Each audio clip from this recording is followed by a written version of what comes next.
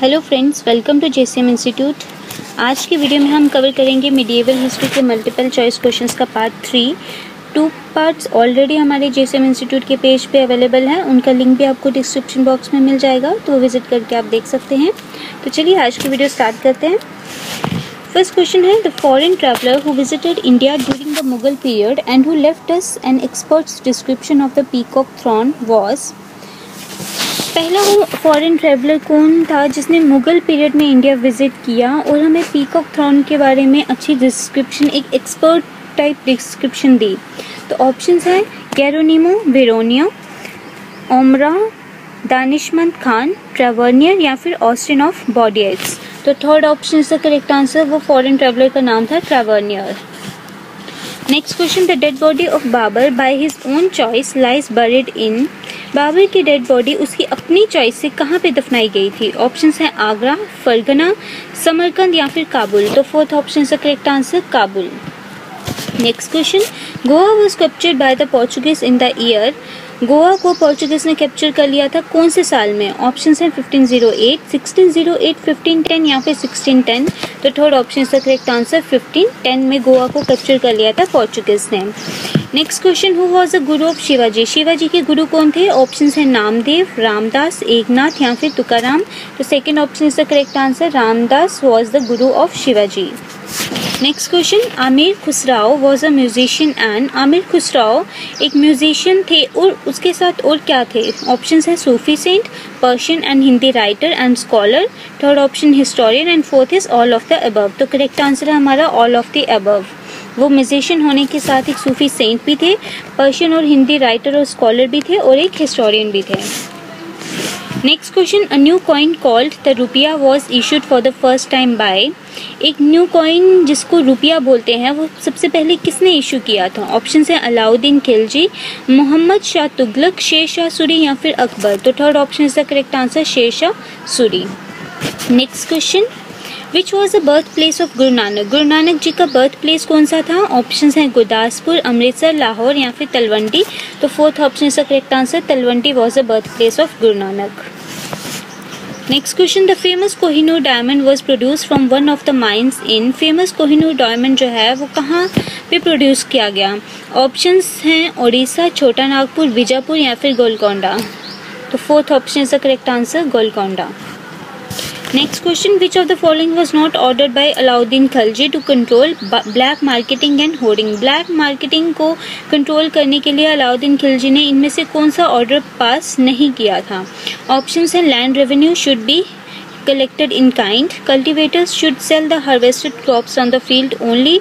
Merchants should sell all commodities in the open. And fourth option, more privileges should be given to khuts and muqaddams तो fourth option इसका correct answer है ये वो order नहीं है जो black marketing को रोकने के लिए दिया गया था next question the medieval city of Vijayanagar is now known as Vijayanagar का मिडिएवल सिटी को किस नाम से जाना जाता है चंद्रागिरी हलाबिदू हम्पी या फिर कोंडा विदु तो थर्ड ऑप्शन का correct answer Hampi.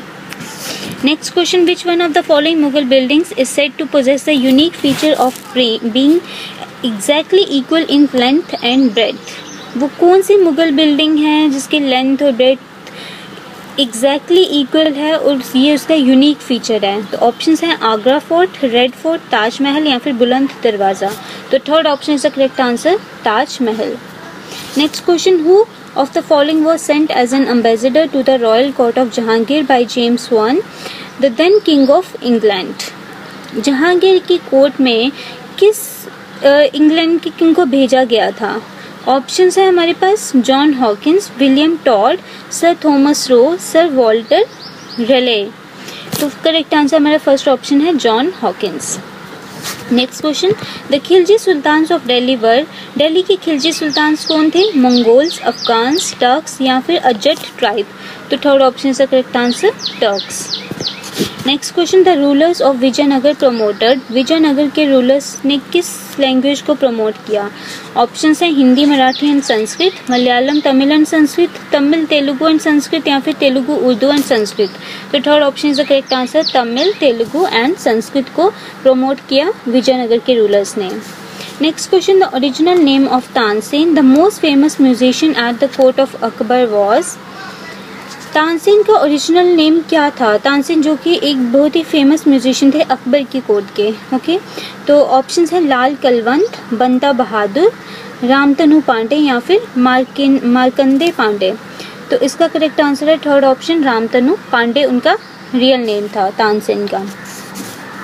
Next question the Qutub Minar was completed by the famous ruler Qutub Minar की जो कंस्ट्रक्शन है, वो कंप्लीट किसके टाइम पे हुई थी? कुतुबुद्दीन ऐबाक इल्तुतमिश फिरोज शाह तुगलक या फिर अलाउद्दीन खिलजी? तो ये कंप्लीट हुई थी इल्तुतमिश के टाइम में तो second option is the correct answer next question which of the following were incorrectly paired इनमें से इनकरेक्ट पेयर कौन सा है? ऑप्शंस देख लेते हैं। Krishna Deva Raya Amuktamalyada, Harshavardhana Nagananda, Kalidasa Ritusamhara and Vishakhadatta. Kiratarjuniyam तो फोर्थ ऑप्शन इस क्वेश्चन का करेक्ट आंसर है Vishakhadatta and Kiratarjuniyam. Next question Ibn Batuta visited India during the reign of Ibn Batuta ने इंडिया विज़िट किया था, किसके टाइम में? इल्तुतमिश अलाउद्दीन खिलजी, मोहम्मद बिन तुगलक या फिर बलबान तो थर्ड ऑप्शन इसका करेक्ट आंसर मोहम्मद बिन तुगलक के टाइम में इबन बतूता ने इंडिया विज़िट किया था। नेक्स्ट क्वेश्चन है ओके आज की वीडियो में इतना ही फ्रेंड्स जीसीएम इंस्टीट्यूट का पेज विज़िट करके आप बाकी सारी वीडियोस भी देख सकते हैं, जो हमारे जेसीएम इंस्टीट्यूट के यूट्यूब पेज पे प्रेजेंट है. काफ़ी सारी सीरीज़ चली आ रही हैं. एंशियन हिस्ट्री की सीरीज़ हमने कंप्लीट कर दी है. और ये जितने भी क्वेश्चंस हैं, ये एसएससी या रेलवेज़ में आए हुए क्वेश्चंस हैं तो ये एग्ज़ाम पॉइंट ऑफ़ व्यू से बहुत ही इंपॉर्टेंट हैं बिकॉज़ एसएससी या रेलवेज़ मोस्टली अपने क्वेश्चन रिपीट करते हैं. तो अगर आप इन क्वेश्चंस पे फोकस करेंगे तो ये काफ़ी हेल्पफुल रहेंगे आपके लिए। ओके okay फ्रेंड्स तो अगर आपको हमारा एफर्ट अच्छा लग रहा हो और आज की वीडियो अगर अच्छी लगी हो तो please like share and subscribe करें। Thanks for watching